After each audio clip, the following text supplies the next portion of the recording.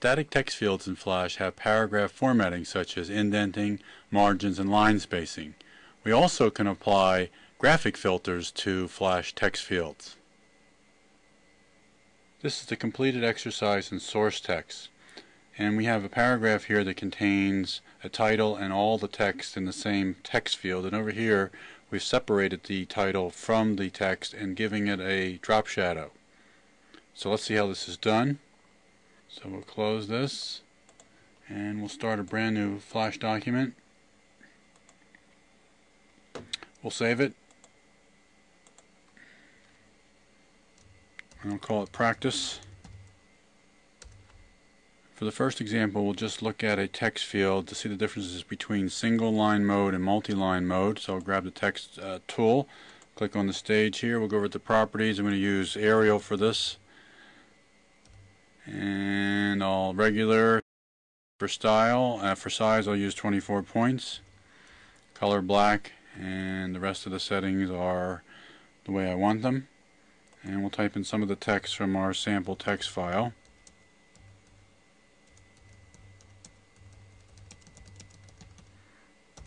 and as I'm typing you'll notice the text field gets wider and wider.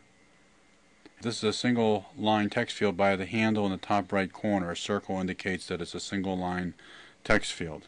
I can grab that handle or other handles and resize this. I'll just make it narrower. And now the handle changes to a square which indicates multi-line mode. And if I double click that square handle in the top right corner it goes back to single line mode if I exit the edit mode and uh, just grab the uh, selection tool and do some resizing with the text field as an object and then return to edit mode you'll notice that it's going back to multi-line mode as well. So click here at the end and what I'll do is add some more text.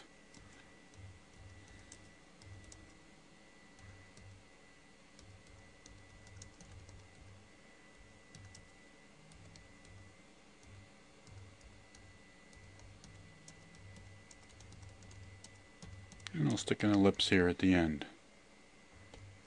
And we'll escape out of edit mode, go to selection tool, just move this over here and so much for my typing of Latin.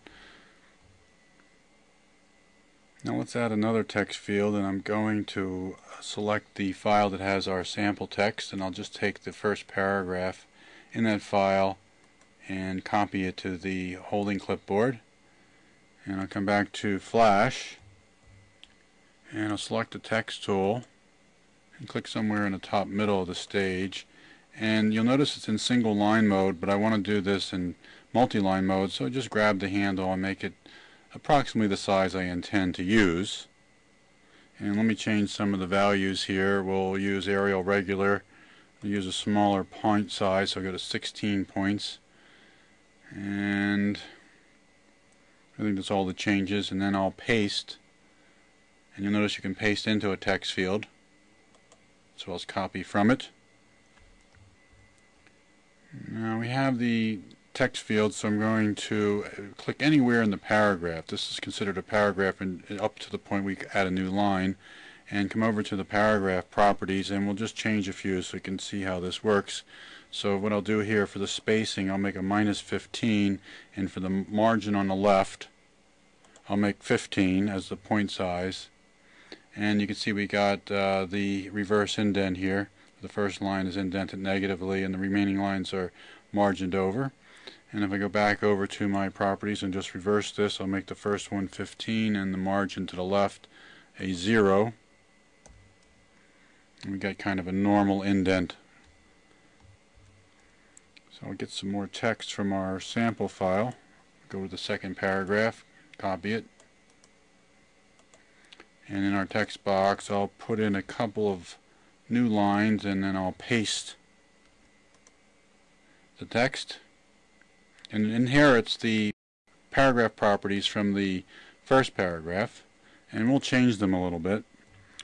And so what I'll do is I'll change the spacing to zero and so that you can see that the paragraphs can have their own individual properties within the same text field. I'm going to change this back to match the first one 15 for the uh, spacing of the first indented line. And let's go back and add the third paragraph. So we'll copy this out of our source file, we'll click into text field, and we'll have a blank line in there, and we'll paste that one in. Now what we'll do is we'll format the first letters of each one of these paragraphs. So we'll go up to the letter L in Lorem, and what I'm going to do is I'm going to use a wider font. I'll use Verdana. It's also similar to the Arial. And I will change its style to bold and its size to 20. I'm going to click back in the text box and deselect the letter L and you can see the effect. Let's repeat this for the letter D, the first letter of the second paragraph. And again, Verdana and bold and 20 points for the size. And the last paragraph, first letter, Verdana, bold, and 20 points. We're going to add a title to the top of this and I'll press enter in front of the first character of the first paragraph and I'll just type some letters on that line and you'll notice that it inherited the paragraph attributes as well as the character attributes. So I'm going to delete these letters and return to our text source and I'll take the first two words from our first paragraph and I'll copy them and then I'll paste them on this new line. And you can see the attributes are still inherited. And I'm going to capitalize the letter I. And I'll select all the text in the first line. And we'll change some of the attributes. First we'll get rid of the spacing of 15, we'll make that 0 and you'll see that this is now left aligned. We'll come up here to the format where the paragraph is. And we'll choose the center align and I think I'll make the size uh, 30 points to emphasize it. And I'll come back over here and just widen this just slightly enough so this all appears on the first line. Next what I want to do is I'm going to take this text and I would like to do a drop shadow behind it but a drop shadow would apply to the entire text field. So I'm going to copy it. And then I'll escape and go to the selection tool and I'll paste. And we'll drag this over here and just size it a little bit so it's wide enough to show in one line. And I'll line it up with the other one. And as an entire text field I'll come over here to the filters and come down here to the bottom left and add a filter and it's going to be drop shadow and I'll just change the strength to uh, 50% and you can see we have a drop shadow here. This is a way for you to work with text is to break it up into multiple text fields. So let's get the abstract of this and we'll go back to the second text field and we'll copy it and then we'll click and paste it and we'll position it over here and first thing we'll do is click into it for edit mode and delete the duplicate title and the extra line and then I'll escape out and go to the selection tool. And uh, now what we'll do is we'll line these up so they're kind of centered on top of each other. So what we'll do is we'll pick the center point and multi-select them open up the align tool and we'll bring that up here. We want the To Stage button up and we'll go to the align horizontal center. And then we'll close this